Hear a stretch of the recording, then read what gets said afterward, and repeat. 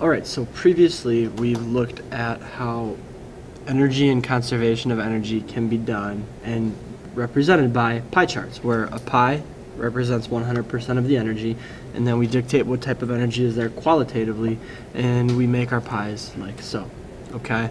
Um, what I want to do now, or you know, there's another way to represent it, and that it is actually by using um, bar graphs. Okay, so we can create energy bar graphs as well, where we represent the energy present at any given point, like we did with the pies. Okay, except we use bar charts to do it. Um, you can do it a couple ways. You can actually use numbers when the total number of energy or amount of energy is provided or solvable. Um, otherwise, you know, you can look at it in terms of percent percentages. So 100%, here's 50%, 75%, and 25%. Again, how you represent it is honestly up to you. Um, you just need to take into consideration the types of energy present, okay, and the types of energy lost or so forth. So, uh, for example, you know, this I believe was from when we were looking at the guy that was on the human slingshot. And so at the end, he was, you know, elastic potential was high, gravitational potential was some, but at the end, he lost half his energy or most of his energy, had some gravitational potential and elastic potential. So if I were to translate this to a bar graph, okay, I would show that half of my energy was dissipated I would show a quarter of my energy was stored in elastic potential. And then I would also show that a quarter of my energy was stored in gravitational potential. Okay. Now, just like we've done in the past, energy has to be conserved, so these three energies have to add up to my 100% my energy. And again, if I do so, if I take these and I add them up, I have half of my energy as my total energy. I have a quarter of my energy as this elastic potential energy. And then that last portion of the energy present is my gravitational potential, all adding up to a total of 100%. Okay? So this is just showing you that energy is conserved, and this plus this plus this is equal to the total energy present.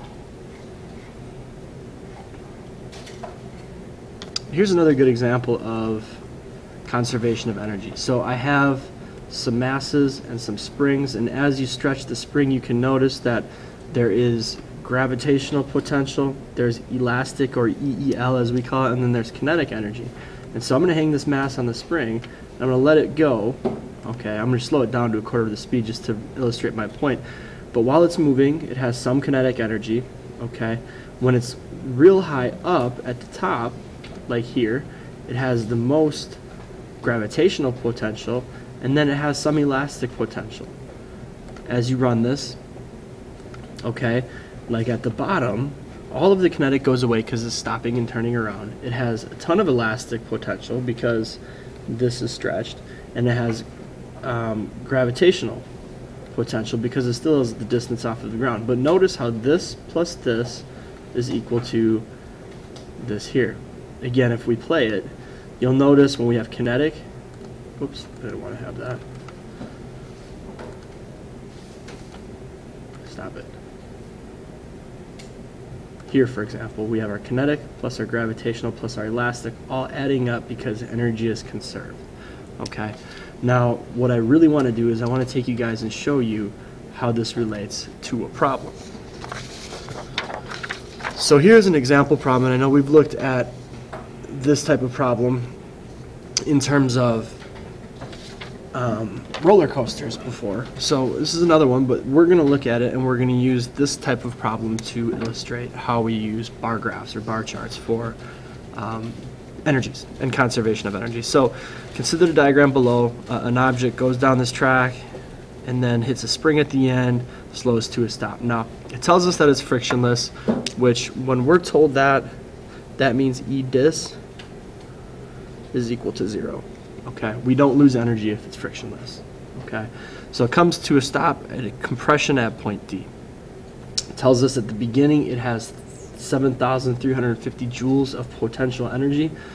We just need to figure out the energies at these different points. Okay, so before I even get to my bar graph, I'm just going to work through and figure out what exactly each energy is at these points, like we did for the roller coaster previously.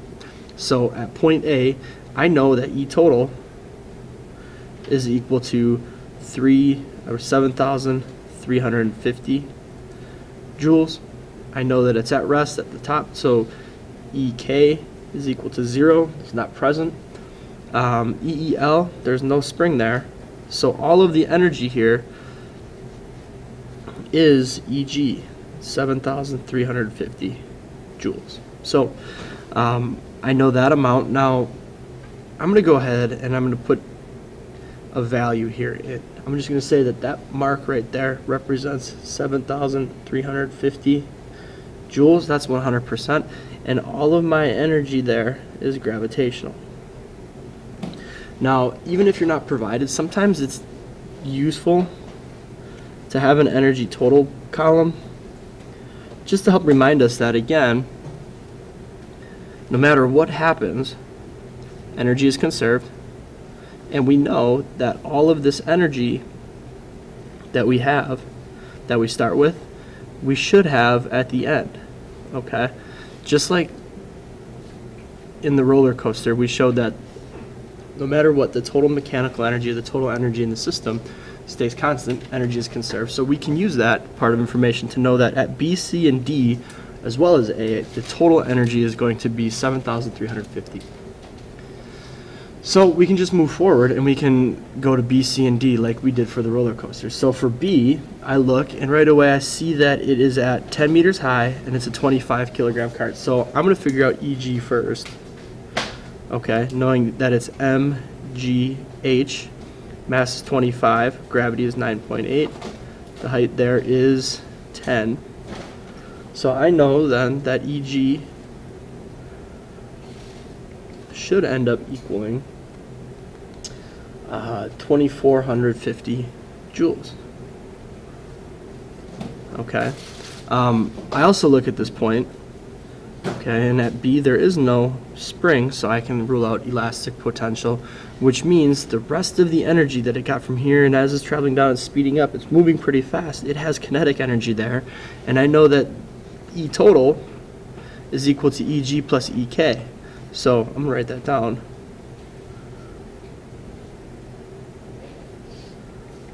And I can figure out what my kinetic energy then is based off of the fact that I know my E total is the same throughout. 7350 is equal to my EG, which we had to be 2450 plus EK.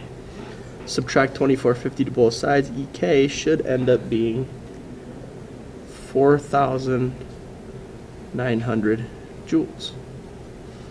Okay, so I have both of my numbers there. Uh, point C, well this one's pretty easy. Okay, it's all the way down to the bottom. It's at ground level, so there is no, whoops, wrong, wrong one. There is no EG there. Okay, this should still say EG because there is some there. There is no EG at point C, it's at the bottom. Okay, I look, no spring. So that means the EK in this case is also all 3750 for that situation. And then the last one, point D, it's compressed. I know the EK is zero. It tells us it gets compressed, so it stops. So EK is zero. EG, well, it's back to 10 meters high, and we figured out that when it's 10 meters high at point B, it has 2450. So at this point, it also, EG should be the same, which is 2450 joules. And then EEL is the remainder. So EEL, well, we can't figure that out without doing some math. So knowing total energy here should be EG plus EEL because those are the two energies present. I can go ahead and I can substitute values in that I know to solve for that. E total we know is 7,350 because energy is conserved. should be equal to EG, which we solved to be 2450 plus EEL. So I know then that EEL, using some simple algebra, should be 4,900 joules.